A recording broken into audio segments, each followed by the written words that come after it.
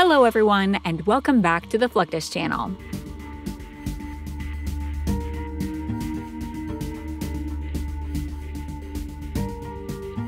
For more than 60 years, the B 52 Stratofortress has been a standard bomber aircraft.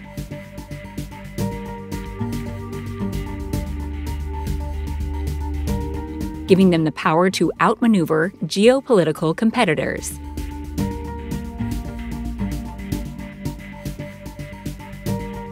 From Operation Desert Storm in the 90s and Operation Inherent Resolve in 2016,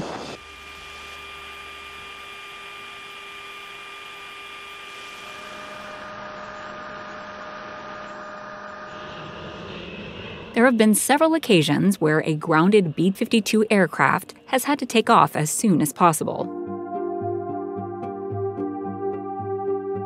There could be instances where a military base is under threat, or a dangerous situation arises requiring air support, where grounded aircraft may have to take off quickly.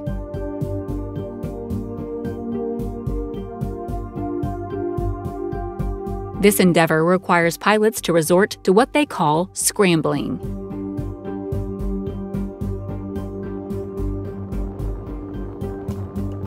This exercise involves picking up the gear required in flight and hurrying toward their aircraft, where they await further instructions.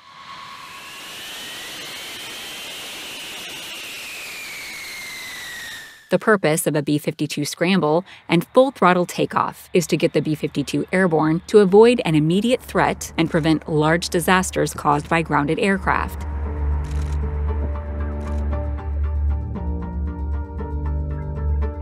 Its eight Pratt & Whitney turbofan engines facilitate a maximum takeoff weight of 488,000 pounds.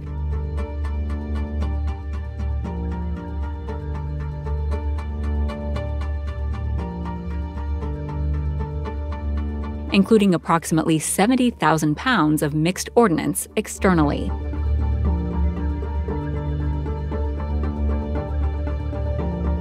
Essentially, the aircraft was purposed to launch up to 25 nuclear tipped cruise missiles on target from hundreds of miles away.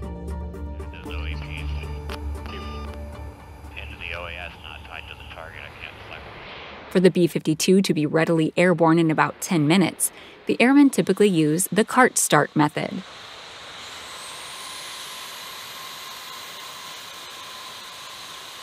As the name suggests, the cart start involves using small cartridges of controlled explosives inserted into two of the B 52's eight engines.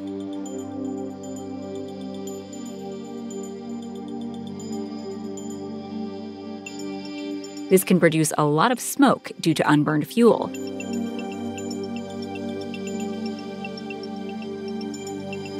But it efficiently saves over an hour on a B 52's start time.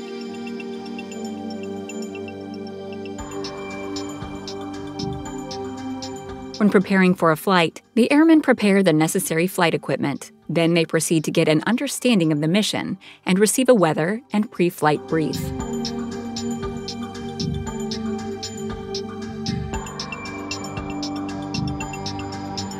Their preparation can also include going over the complete checks of the avionics system and the alignment of the navigation system.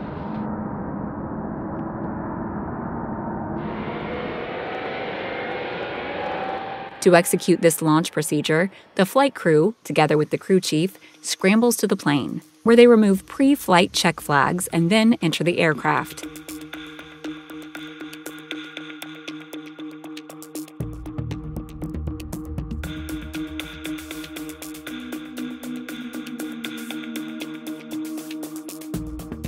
After the cart start, the remaining engines are started while the aircraft taxis to the runway, ready for takeoff.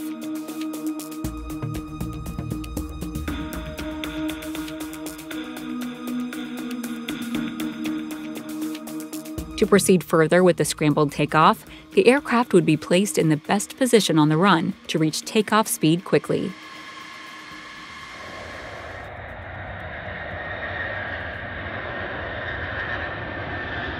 This positioning is critical as the jet takes off within 10 minutes at full engine thrust.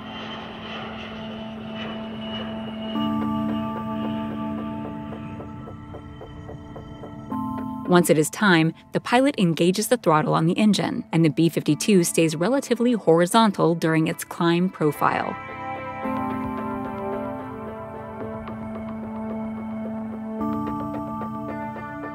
The wheels of the B 52 are designed to pivot, increasing maneuverability on the flight line.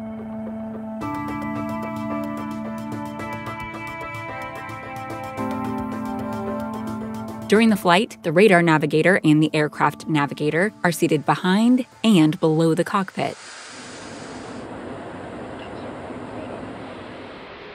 The necessity for scrambling and preparedness around the clock comes from unpredictable security circumstances.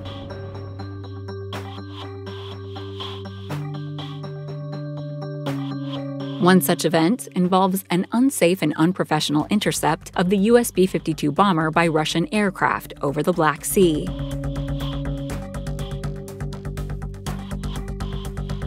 At approximately 11:19 a.m. on August 28, 2020, two Russian Sukhoi Su 27 flanker fighter pilots intercepted a U.S. Air Force B 52 conducting routine operations in the Black Sea over international waters. The Russian pilots flew within 100 feet of the B 52's nose multiple times at the same altitude. The concept of aircraft interception is when one aircraft moves up to another aircraft.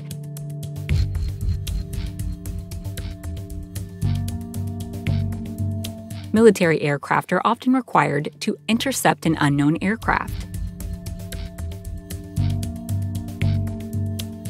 These aircraft are not in communication with the appropriate air traffic control agency or have departed from their filed flight plan. Interception is easily likely if these unknown aircraft have entered national airspace without explicit or implied permission.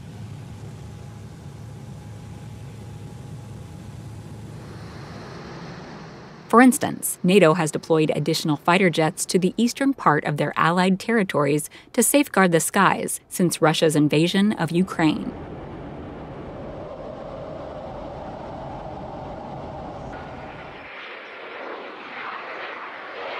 There are several training exercises conducted to simulate these military interceptions.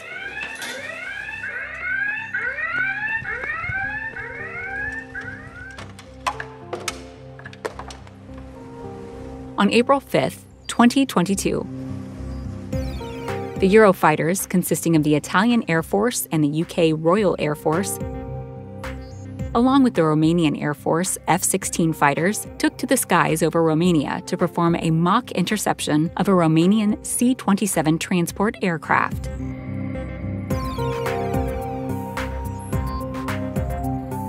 During this exercise, a Romanian C 27 aircraft flies above Romania, with a UK Typhoon intercepting the plane.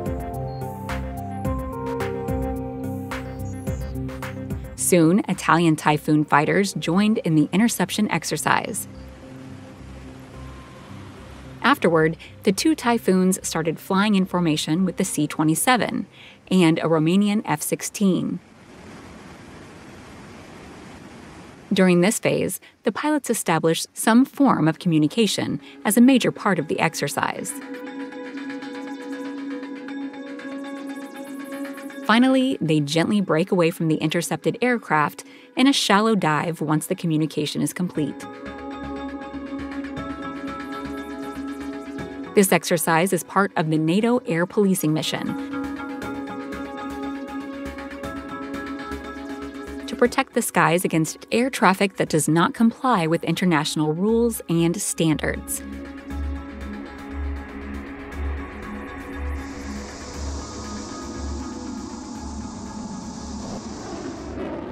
Across the Atlantic, the U.S. Air Force conducts a similar interception exercise over the Gulf of Guinea.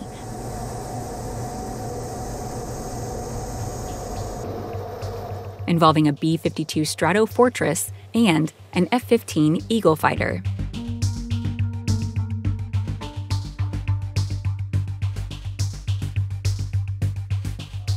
The F 15 fighter receives the necessary information about the target aircraft. Standard homestead runway uh, for 90 degrees, the uh, standard alert uh, 17 alpha, uh, including its flight status, coordinates, and altitudes.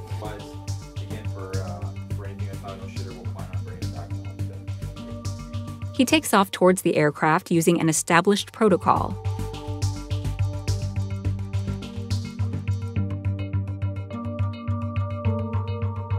To make initial contact, the F 15 will rock its wings and flash its navigation lights at irregular intervals.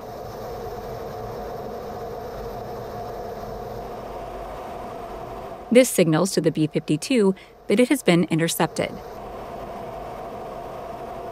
and it also responds by rocking its wings, flashing its lights, and then following the intercepting jet.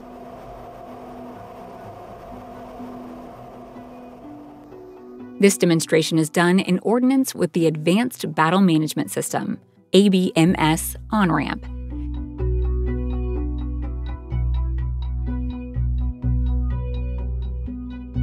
The ABMS is an interconnected family of systems where data is brought into a cloud based space by different sensors.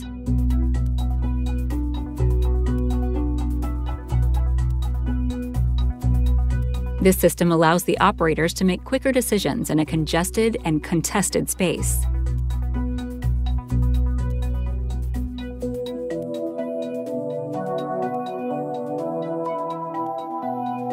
In addition to interceptions, the United States forces use F 15s for intense dogfighting practice.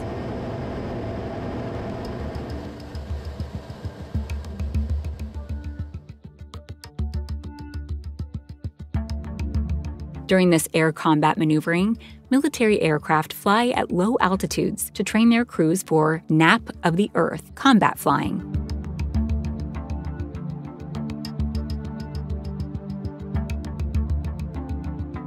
The F 15 jets peel off 3,000 feet from each other at altitude to indicate the start of the dogfight.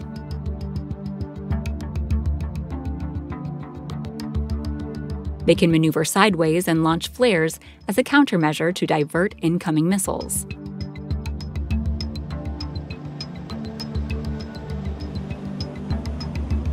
the pilot must learn the important skill of looking around the canopy of the jet as they fly and keep an eye on the advancing enemy. The skilled pilot can be seen maneuvering through the bright blue sky after takeoff.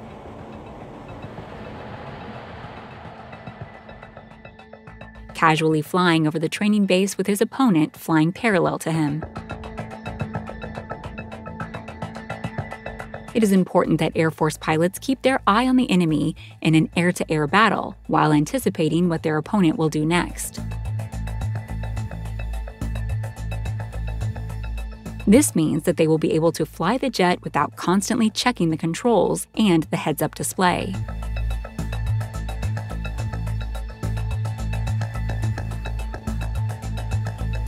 Pilots can traditionally engage in air combat with a similar aircraft.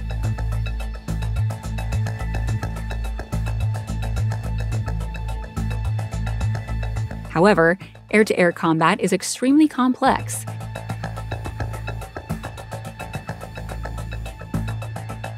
And often involves different types of fighter jets.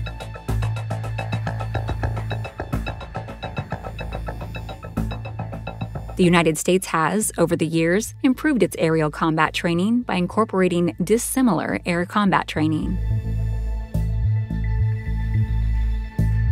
They incorporated this training after a disappointing loss in the Vietnam War.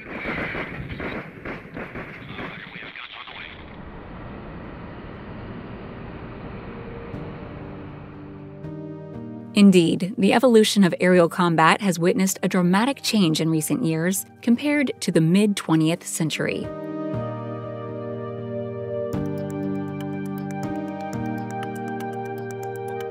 From tactical changes to technological advances, every nation, including the United States, has devised various means of protecting its airspace by advancing its aerial military prowess.